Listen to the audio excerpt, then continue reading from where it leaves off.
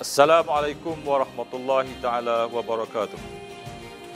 Kita renung pula satu lagi manifesto PAS Pahang untuk PRU yang ke-14 iaitu pengupayaan orang asal. PAS menganggap kelompok masyarakat orang asal amat perlu diberi perhatian agar tidak terpinggir daripada arus pembangunan negeri dan negara. Berdasarkan bancian penduduk tahun 2010, terdapat seramai 178,197 orang asal atau hampir 1% daripada keseluruhan penduduk di negara ini. Daripada jumlah tersebut, negeri Pahang mewakili bilangan teramai iaitu 67,506 orang. PAS Pahang berhasrat untuk memertabatkan komuniti orang asal merentasi batasan agama, budaya dan latar belakang. PAS mahu mereka hidup selesa dengan menikmati agihan ekonomi yang seimbang serta taraf kehidupan yang lebih baik. PAS komited untuk mempertingkatkan prasarana seperti bekalan elektrik, air bersih, perumahan dan jalan raya demi mempertingkatkan sosioekonomi kelompok orang asal bagi yang bergantung rezeki dengan hutan.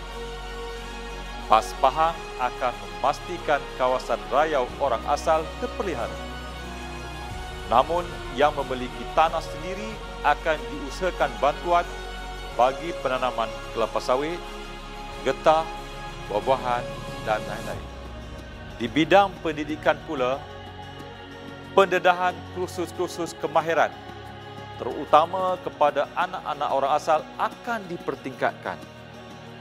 PAS sedar bahawa pembangunan modal insan ini merupakan prasyarat untuk mengubah tahap sosioekonomi mereka pada masa hadapan.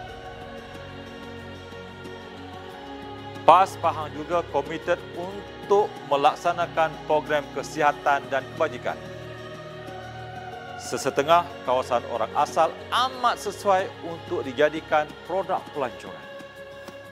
Jika dikomersialkan, sudah tentu boleh meningkatkan lagi kedudukan ekonomi orang asal, khususnya bagi yang berminat menjadi usahawan. Sementara itu, orang asal juga tidak terkecuali daripada terlibat dengan tawaran-tawaran dalam manifesto PAS Pahang sebelum ini iaitu lot rumah, bantuan makanan harian percuma, bantuan kebajikan, bantuan walimah pertana serta bantuan pendidikan dan kesihatan.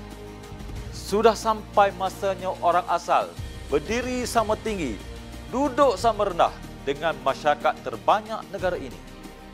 Sudah sampai masanya orang asal bertindak secara kolektif untuk bergerak keluar daripada belenggu BN.